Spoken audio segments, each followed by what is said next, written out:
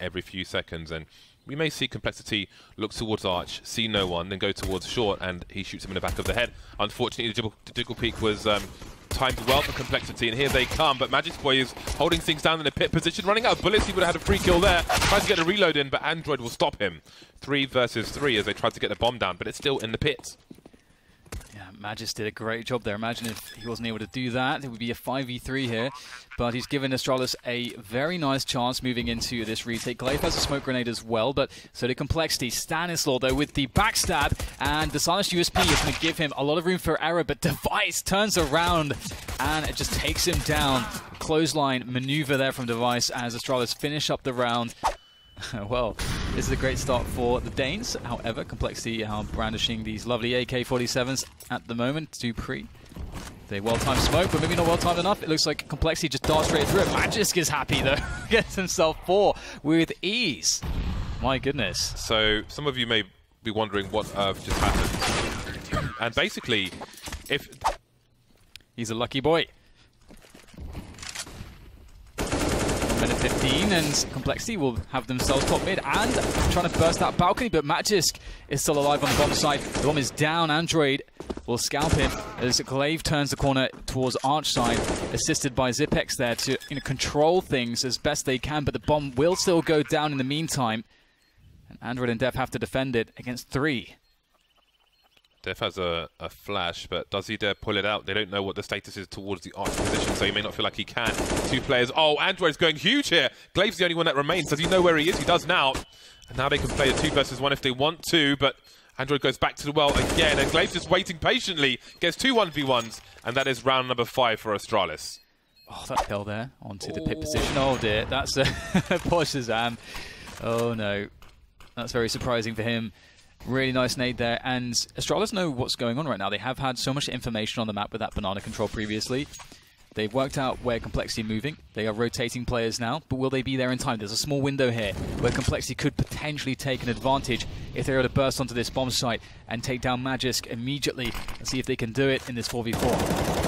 Will they wait for Stanislaw? He's moving up the arch position. That would allow them to split the site, and now Astralis have been forced to move all the way back. Glaive rotating now from the B bomb site. Stanislaw spotted. He's blinded. maybe the library player can take him out. In the meantime, there's fights on the site, and Magister will get picked off, leaving Glaive and Xyp9x out of position once again in that arch area. Two versus three. Two of these players heavily tagged for complexity. But what can Astralis do with what they have? It's definitely a tough one not much in the way of utility to aid this push, and Android in a really good position. That's a beautiful peak coming in from Glaive, though. That will make the burden slightly lighter as they move forwards. But Glaive, he's known. yay will deal with him, and Xyp9x with 20 points of health. The best player is to save the AWP as he Complexity will just go for this one. They're going to have to do this with raw firepower. Glaive will take down the first. And there's not too much left here now for Complexity. Glaive still standing on the bomb site in the 1v1, and he'll deal with it very well. Shot. See some jump peaks from Glaive. Got to be careful, and that's got to be an awkward one. He has to take the fight, and does yay continue to charge through? He does. He expects Glaive to be on his own, and he's not wrong. Charging towards construction, and maybe a fight there, but that's good damage from Xyp9x as he tries to hold on to real estate for his team. Device still in mid, Android still at the bottom of mid. And now the bomb is coming in as well. Android was uh, just picked off by Device in mid. Look at that grenade, that was perfect! And the follow-up from Xyp9x, Sanders was on 6 HP. What can you do? what can you do? Pretty much every position they're trying to take as well. You know, can see ShahZaM being forced out as his teammates are picked off around him. Not a good spot to be in. He's got to be perfect with this AK, and he doesn't even get a chance to shoot. yay will also be of a similar fate as the round is picked up by Astralis. To the CT side, but the timing was uh, extra brutal for complexity because of the position in Astralis. Yeah, look at this push again. dupreeh is going really aggressive. He loves it. And he's got Device to back him up. Oh my oh god, my that god. was incredible. So quick, and a nade to follow up. It is a brilliant combo from Device to finish off the remainder of Complexity. Just Android left. That was such a... That, I mean, it's like a pixel shot. It's so such a fast correction. Yeah. Such a like a, with a sweeping motion with the AWP. It just it. We aim to see even more of that. yay will get some information, seeing all the players running up second mid. I like this from Complexity, trying to meet these Ts before they get up to top mid and see if they can get some frags. And it is not going all that well here for Complexity two players left now, and Astralis with a minute and a half left, they can go anywhere on the map, and that's so dangerous.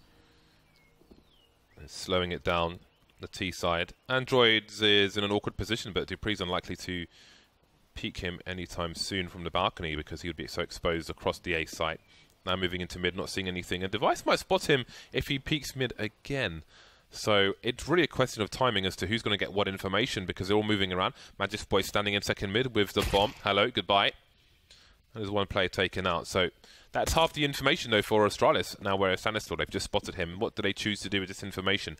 Magisk has a gamble to make. Repositioning. Ooh, Android, does he peek deep? This is, there's so many different things that could happen. We just got to wait and see. Device slowly walking up. Goes for a fast peek, doesn't see anything top mid. Magisk Boy has walked past him.